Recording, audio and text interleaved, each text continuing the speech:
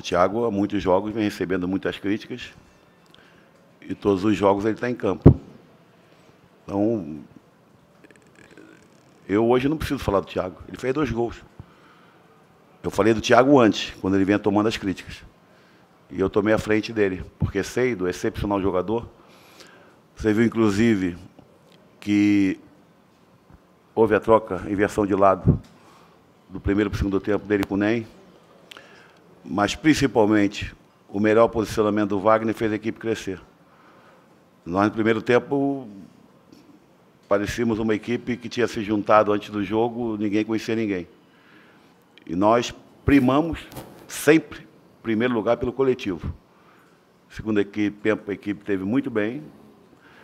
Depois do gol, né, porque foi logo a seguir, não deu nem para o Vasco sentir o impacto do nosso gol e conseguiu empatar. Se atiraram, nós tivemos dois, três contra-ataques muito bons.